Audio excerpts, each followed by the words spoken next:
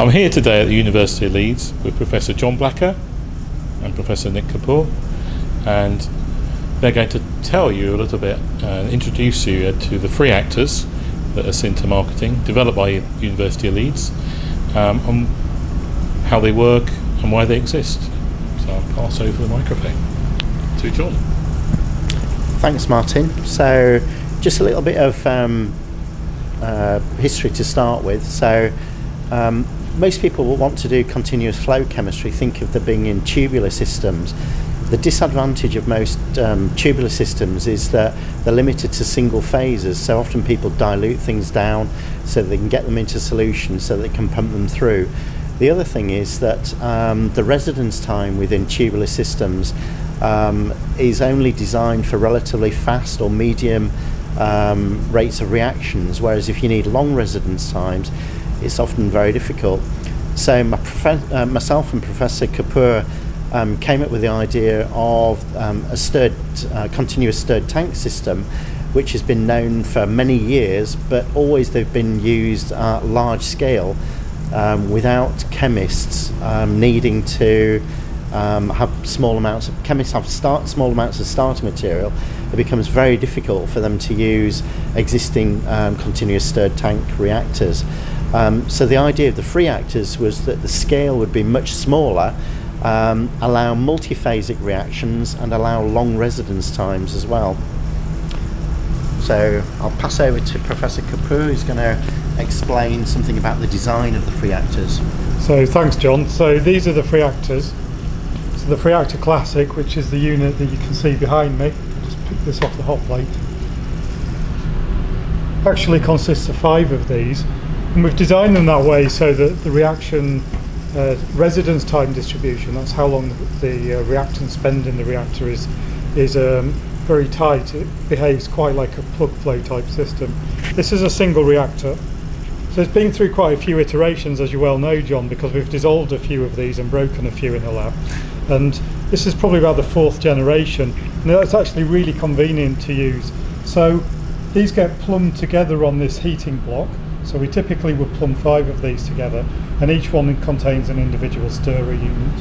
And if I just take this single unit, I can just show you how quick it and easy it is to uh, deal with. So you can just very quickly undo the front bolt.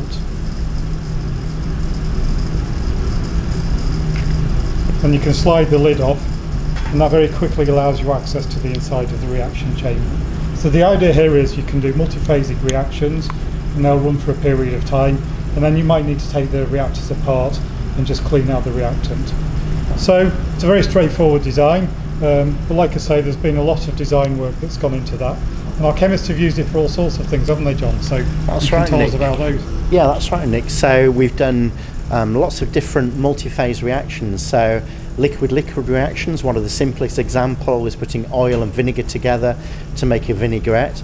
Um, we've done, um, because of the good mixing, we've done some very fast reactions. Um, we've done gas liquid reactions, um, so hydrogenations, for example, with a homogeneous catalyst. Um, we've also done reactions that evolve a gas during the reaction, like CO2, for example. We've done gas liquid solid reactions, um, so for instance, palladium on carbon catalyst with hydrogen gas with a liquid substrate um, with long residence time, so maybe three hours on those reactions.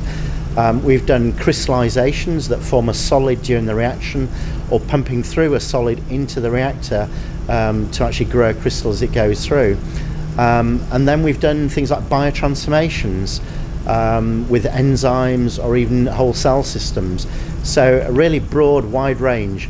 Now, what we're not doing is promising we'll do everything and it will work perfectly every single time. But the idea is that it's simple enough to be able to wash and clean out if you need to, because um, eventually some things will block or things may not um, perform all the time exactly as you expect. Um, and we've designed them to be very flexible. So depending on what the chemistries are, it's designed to accommodate lots of different types of chemistries. Thanks, John. Um, we've chosen materials of construction so that they're uh, relatively resistant to most chemicals. So these are PEEK bodies. We've got glass windows in there. We've got different types of seals, and yeah, just really flexible types of systems that we've been able to For use. heating, particularly heating. Yeah, yeah. absolutely. It comes on a on a heating plate so we can heat this to 100 degrees C and we run this at normally up to 7 or 8 bar, 100 pounds per square inch just using a conventional back pressure regulator. Okay, Martin, I'm going to hand that back to you now. Thank you. Well, my thanks to Nick and John. I really appreciate you filling us in on the fReactors and uh, how they work in the laboratory and some of the advantages that people can't really see just by looking at them um, from, a, from an image. Uh, we've got lots more information linked through the Asynt website. Uh, lots of information from Nick and John that uh, can help you make decisions on whether these products could be useful for you. But we're trying to base these at a sensible price level that really you can start to play an experiment with flow chemistry. Anyway, thanks for watching and thank you, gentlemen.